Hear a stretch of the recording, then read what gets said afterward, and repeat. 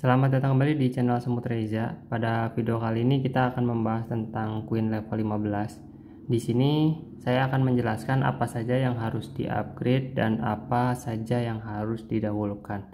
Oke, poin pertama yang pasti harus kalian upgrade adalah di air. Nah, usahakan airnya itu sama dengan Queen kalian. Jadi diusahakan semua bangunan airnya itu rata dengan queen kalian. Saya akan bagikan tipsnya untuk kalian yang masih queen level 15. Jadi pertama kalian harus rajin mengecek aksi koloni yang ini.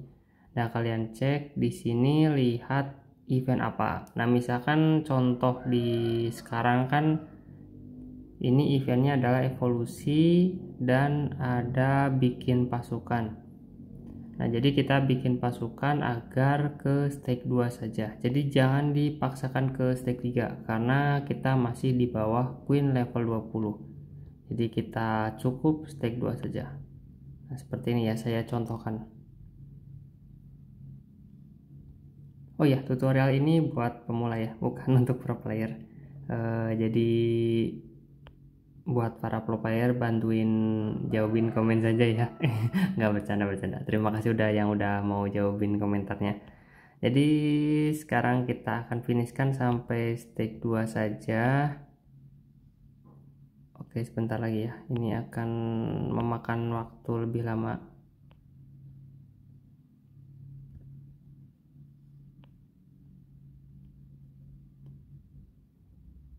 Oke, sudah stake 2 ya. Nah ini kan eventnya evolusi, jadi bisa saja kalian ikut evolusi misalkan ini kan ada tulang ikan, jadi kalian bisa melakukan evolusi untuk warzone. Jadi ketika kalian masih queen kecil, otomatis kalian harus fokus ngejar ke double reward yang ini. Nah untuk mempermudah kalian mengejar ke situ, usahakan selalu ikut di warzone-nya kalian warzone-nya ambil apa dan usahakan dalam satu hari itu cukup ke stake 3 saja. Jangan dipaksakan. Nanti ketika kalian sudah di queen tinggi ke stake 9 itu sangat mudah. Jadi untuk di kecil itu jangan terlalu dipikirkan sampai pusing. Jadi cukup ke stake ketiga saja nggak perlu ke 6 atau ke 9 jalani saja nanti seiring queennya naik maka kalian akan makin mudah. Nah setelah kalian bisa bermain di ke arah situ di CA dan Warzone.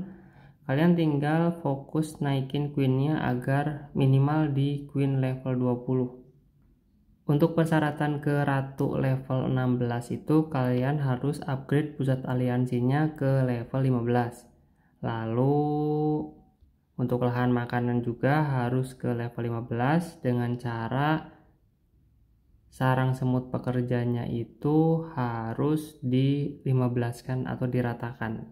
Jadi kalian ratakan ke 15 saja agar nanti ketika naik-naik level kalian tidak perlu upgrade satu-satu. Jadi usahakan untuk bangunan sarang semut pekerja itu diratakan di level queennya.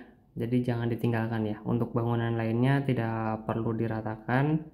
Selanjutnya untuk bangunan pemotong daun usahakan disamakan dengan level queennya karena itu akan membuat jamur kalian selalu banyak. Nah ini karena akun pra, akun farming sedang beralih ke akun buat konten jadi ini adalah masih tampilan orang-orang kebanyakan seperti ini. Jadi nanti akan saya buat bahan konten di akun ini agar kalian lebih mudah mempelajari gimana cara bermain di game ini. Nah, kita langsung saja upgrade ke Queen level 16 untuk mempermudah nanti akan lama di Queen level 16. Nanti kita lanjut lagi videonya setelah saya di Queen level 16 dan saya akan bahas tentang serangga, bangunan serangga dan tutorial-tutorial lainnya di Queen 16. Semoga video ini bermanfaat buat kalian jika kalian suka jangan lupa di like ya, uh, di subscribe juga.